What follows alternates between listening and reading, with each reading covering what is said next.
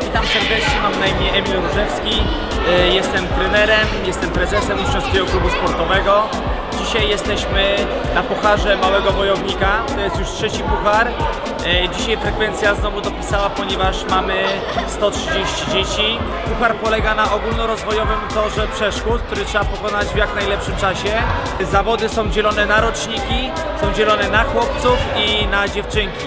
Do wygrania są bardzo fajne, duże medale i bardzo duże fajne puchary. I fajnie, bo tutaj dzieci przyjeżdżają, cieszą się z tych startów. Yy, Mnie mi się podoba, że dzieci mogą ze sobą wyrywalizować, że dzieci śnią o pucharze małego wojownika, to też jest bardzo fajne. Taka jest moja e, tutaj idea, że po prostu chcę już u dzieci w wieku od czwartego roku życia zaszczepić rywalizację, e, miłość do sportu i że sport to jest, sport to jest wie- wielka, fajna, życiowa pasja.